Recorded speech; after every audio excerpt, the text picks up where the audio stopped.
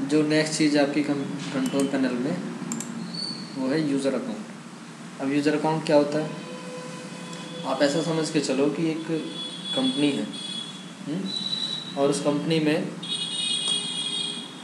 दो तरह से हम सोच सकते हैं पहला तो ये कि एक ही मालिक है, और दूसरा ये जिसमें एक से ज़्यादा मालिक है पहले उसकी बात करें जिसमें एक ही मालिक हो तो मालिक के हाथ में बहुत सारी कमांड होती हैं, यानी कि बहुत सारे फैसले करने की ताकत होती है कि किसी व्यक्ति को रखना है या किसी व्यक्ति को नहीं रखना है, या फैक्ट्री का व्यू चेंज करना है, या काम का व्यू चेंज करना है, क्या काम होना चाहिए, क्या काम नहीं होना चाहिए, सैलरी बढ़ानी चाहिए, घटानी चाहिए, इस तरह की बहुत सारी चीज़ें होती हैं। ये सारे फैसले कौन लेता है? मालिक लेता है।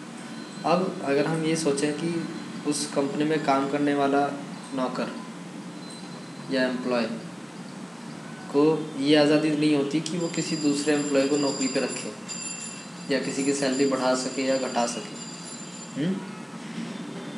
अगर मालिक कहता है कि भाई ये काम कर लो तो एम्प्लॉय कर सकता है, वरना उसकी इजाज़त के बगैर नहीं कर सकता हुँ? तो इसी तरह से कंप्यूटर में दो अकाउंट बनते हैं। एक तो मेन अकाउंट होता है, एडमिनिस्ट्रेटर, जिसको मालिक मान सकते हो, और एक बनता है यूज़र अकाउंट। उसको लिमिटेड अकाउंट भी बोलते हैं, या स्टैंडर्ड यूज़र भी बोलते हैं। वो सारे काम नहीं कर सकता। मेन फ़र्क यही होता है कि जो काम एडमिनिस्ट्रेटर अकाउंट कर सकता है वो काम यूज़र अकाउंट या लिमिटेड अकाउंट या स्टैंडर्ड यूज़र नहीं कर सकता अगर एडमिनिस्ट्रेटर इजाज़त देता है तो कर सकता है अदरवाइज़ नहीं कर सकता, कुछ कामों के लिए वो काम कैसे हो सकते हैं जैसे हम कोई नया सॉफ्टवेयर कंप्यूटर में डाल रहे हैं? या कोई गेम डालने की कोशिश कर रहे हैं, या इंटरनेट सेटिंग कर रहे हैं, या कई बार डेट और टाइम चेंज करना चाहते हो, या और भी कई सारी चीज़ें हैं तो उन सारी चीज़ों के लिए आपको एडमिनिस्ट्रेटर की इजाज़त लेनी पड़ती है। एक इसका दूसरे तरह से भी सोच सकते हो कि जैसे कंपनी में दो व्यक्ति हैं मालिक पार्टनर वाली होती है। तो पार्टनर में क्या होता है कि दोनों के पास बराबर की ताकत होती है। जो काम पहला कर सकता है, वही काम दूसरा कर सकता है। इसी तरह से कंप्यूटर में भी दो एडमिनिस्ट्रेटर अकाउंट हो सकते हैं। यानी कि एक से ज़्यादा मालिक भी हो सकते हैं। और एम्प्लॉय तो कितने ही बना सकते हो आप। हम्म? इसके बाद एक चीज़ ये भी होती है कि आप ऐसा सोच सकते हो आपके घर में छोटे भाई बहन हो तो उन्हें कंप्यूटर या सिस्टम देते समय आप ये सोच लें कि कुछ काम ये ना कर पाएँ। तो आप उनके लिए लिमिटेड अकाउंट क्रिएट कर दें। लिमिटेड अकाउंट क्रिएट करने के बाद उन्हें उसे खोल करके दे दें ताकि वो कुछ काम कर सकें। कुछ से मतलब मेनली तो सारे काम हो सकते हैं। वर्ड वर्ड पे काम कर सकते हैं एम पेंट खोल सकते हैं, कुछ सेटिंग कर सकते हैं, लेकिन सारे काम नहीं कर सकते, है ना? यानी कि सीधा सीधा कहें तो वो काम जो कंप्यूटर को नुकसान पहुँचा सकें या कंप्यूटर में कुछ बड़ा बदलाव कर सकें, ऐसे काम नहीं कर सकते। अभी बात उसके बाद नेक्स्ट चीज़ होती है यूज़र अकाउंट बनाते कैसे हैं? यूज़र अकाउंट बनाने के लिए स्टार्ट बटन में जाते हैं कंट्रोल पैनल में जाते हैं कंट्रोल पैनल में जाने के बाद यहाँ पर आपका ऑप्शन होता है यूज़र अकाउंट यूज़र अकाउंट पे क्लिक करेंगे। जैसे यूज़र अकाउंट पे क्लिक करेंगे तो ये एक विंडो आपके सामने खुलेगी। किस चीज़ के लिए है ये? Make changes to your user account या मैनेज अनदर अकाउंट एक चीज़ और है कि अगर आपको कोई यूज़र अकाउंट बनाना है, फिर चाहे आप एडमिनिस्ट्रेटर बनाए या कोई यूज़र अकाउंट बनाए तो आपको एडमिनिस्ट्रेटर अकाउंट में जा कर के ही बनाना होगा। किसी लिमिटेड अकाउंट में यूज़र अकाउंट में जा कर के आप एडमिनिस्ट्रेटर या दूसरा यूज़र अकाउंट क्रिएट नहीं कर सकते। ऐसे ही समझें, जैसे कि कोई एम्प्लॉय किसी दूसरे एम्प्लॉय को नौकरी पे नहीं रख सकता। कोई मालिक ही रख सकता है। है ना? तो मालिक के पास जाना ज़रूरी है। तो इसलिए हम एडमिनिस्ट्रेटर अकाउंट भी खोलेंगे और उसी के अंदर यूज़र अकाउंट या दूसरा एडमिनिस्ट्रेटर अकाउंट क्रिएट करेंगे। आगे समझ तो सबसे पहले हम क्या करते हैं?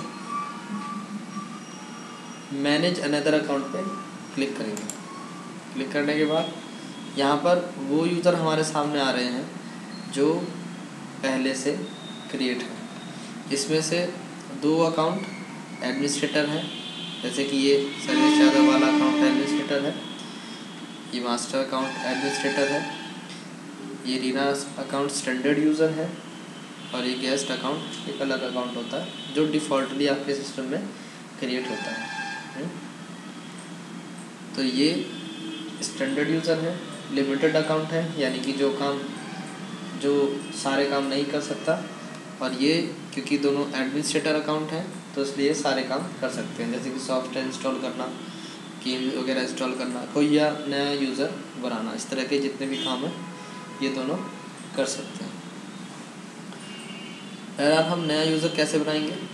यहाँ पर नीचे एक ऑप्शन है क्रिएट अ न्यू अकाउंट इस पर क्लिक करेंगे।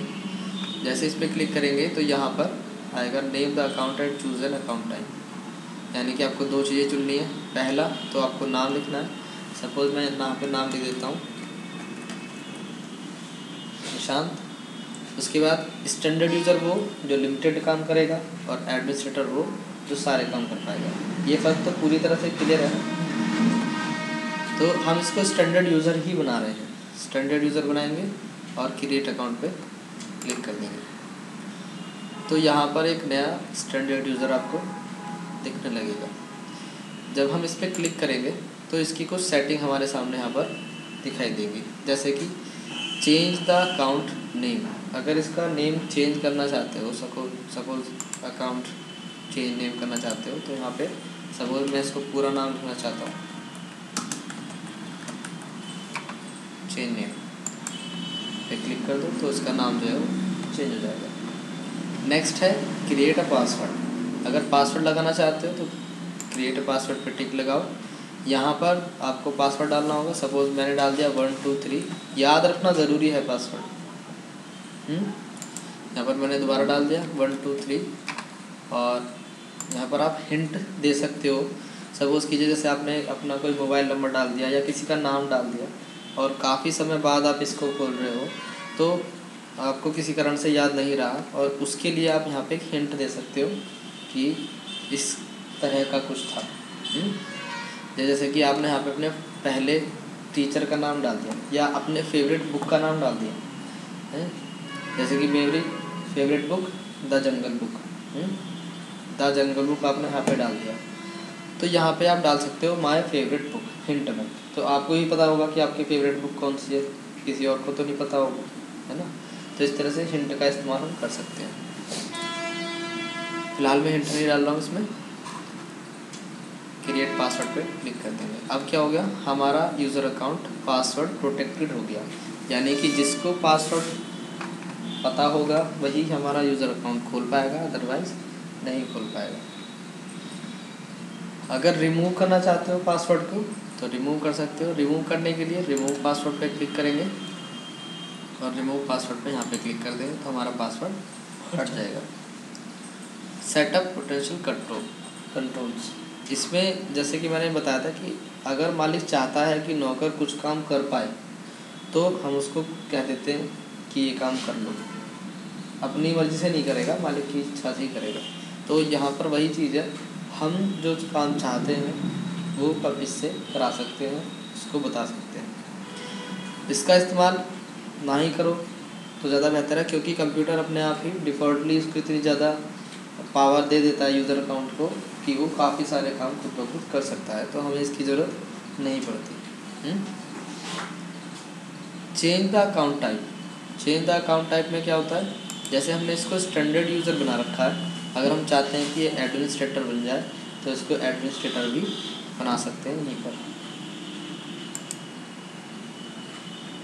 डिलीट द अकाउंट अगर अकाउंट डिलीट करना चाहते हो तो यहाँ से डिलीट कर सकते हो। जब डिलीट पे क्लिक करोगे तो यहाँ पर ये पूछेगा डिलीट फ़ाइल और कीप फ़ाइल डिलीट फ़ाइल या कीप फ़ाइल आमतौर पे अगर हमने यूज़र अकाउंट खोला है और उसमें कुछ काम किया है सपोज़ हमने पेंट बना करके पेंट में फ़ाइल खोल करके कोई फ़ाइल बनाई है, या वर्ड में या नोट पैड में कुछ सेव कर रखा है तो वो हमारी फ़ाइलें होती हैं, अगर हमने यूज़र अकाउंट में बनाई हैं तो। तो अगर डिलीट करने से पहले आप उन फाइलों को किसी दूसरे यूज़र अकाउंट में रखना चाहते हो तो की फ़ाइल करोगे। की फ़ाइल और अगर उन्हें भी डिलीट करना चाहते हो तो डिलीट कर फ़ाइल कर सकते हो। फ़िलहाल जैसे मैं की फ़ाइल कर रहा हूँ तो ये दिखाने के लिए कि जो हम फ़ाइल रखते हैं, वो हमें कहाँ पर दिखाई देंगे। तो डिलीट फ़ाइल की फ़ाइल हमने कर दिया और यहाँ से हम डिलीट कर देते हैं अकाउंट को। हमारा अकाउंट डिलीट हो गया, जो हमने बनाया था। अब वो जो फ़ाइल हमने रखी है, वो कहाँ रखी गई है? इसको यहाँ से बंद कर देते हैं। वो हमें अभी क्योंकि हमने खोला ही नहीं है वो अकाउंट इसलिए हमें वो फ़ाइल दिखाई नहीं दे रही। अगर हम इसको खोल लेते हैं अकाउंट को तो वो फ़ाइल हमारी यहाँ पर सेव हो जाएँगी। एक चीज़ ये भी है कि इस अकाउंट को खोलोगे कैसे?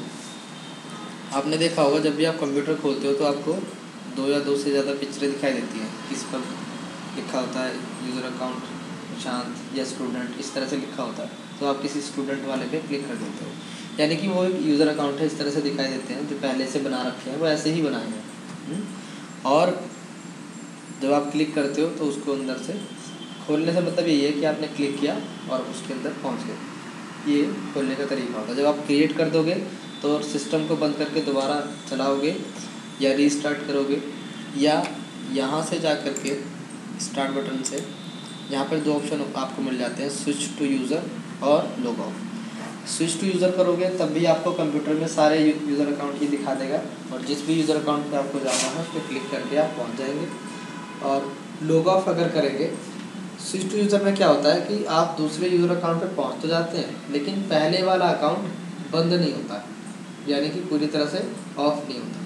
लेकिन अगर आप लॉग ऑफ़ करेंगे तो पहला अकाउंट बंद होगा और फिर उसके बाद आप दूसरे अकाउंट में पहुँचेंगे ये था आपका यूज़र अकाउंट नेक्स्ट क्लास में आगे की बात करें